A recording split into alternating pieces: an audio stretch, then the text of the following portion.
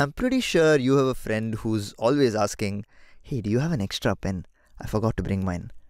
I've asked that single question probably more than any other question I've asked in school. And luckily, there's always a nice, sweet person who carries an extra pen who gives it to you. Now, you look at this happening, guys like me, and then you decide that you have an idea, a business idea.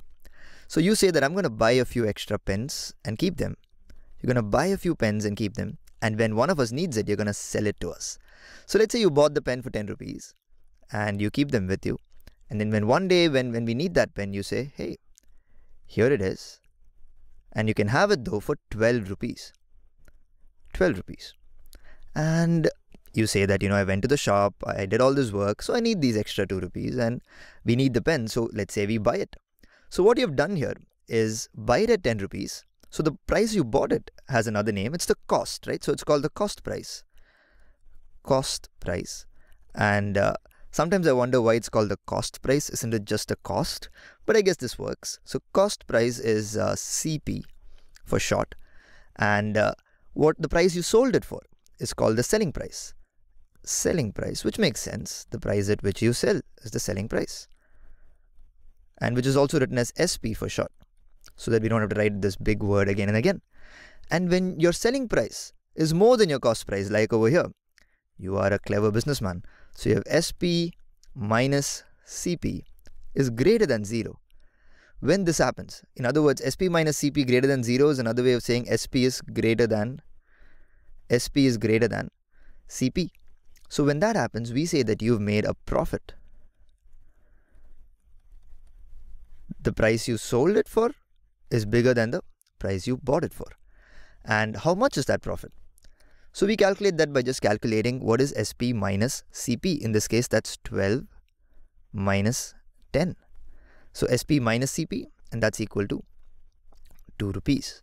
And that 2 rupees is called your profit. Now, you could have done it another way. You could have said, hey, I'm just selling this, I'm just doing this for fun. I went to the shop anyway, I don't really need extra money, so just give me 10 rupees for, for your pen.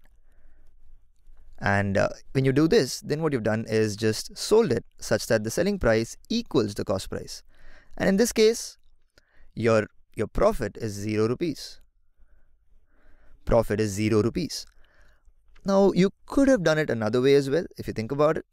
What you could have done is that maybe you suddenly needed some money and uh, you know you were hungry and you wanted to go to the canteen and you did not have any money. But everybody had a pen that day. So nobody really wanted to buy a pen. So you thought about it. You said, you know what? I know nobody here needs a pen, but I'm going to give this pen that I bought for 10 rupees for 9 rupees. And you know that there are people who, no matter, even if they do have a pen, they cannot resist such a discount. So they, they say, okay, I'm going to buy one. And then now what you've done is sold this pen such that the selling price is actually less than the cost price.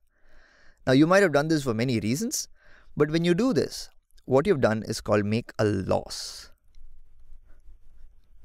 because your selling price was lower than your cost price. You bought it for 10 but sold it for just 9. And in this case, how much is that loss?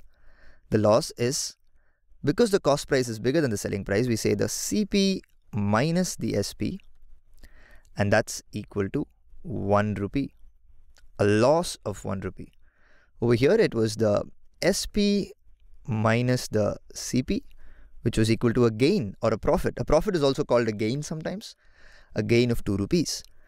Now, if you're comfortable with negative numbers, there's another way to look at this, very similar but just slightly different way. So you can ask yourself from 10, from my cost price, what should I do to get to my selling price? And if the answer is add 2, you do 10 plus 2 to go to 12. If you see a plus 2 here, then you can say it's a plus, so it's a profit. And the amount of the profit is 2 rupees.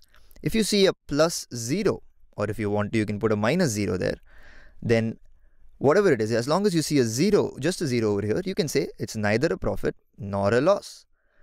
So zero rupees. And if you have to go from 10 to 9, what must you do?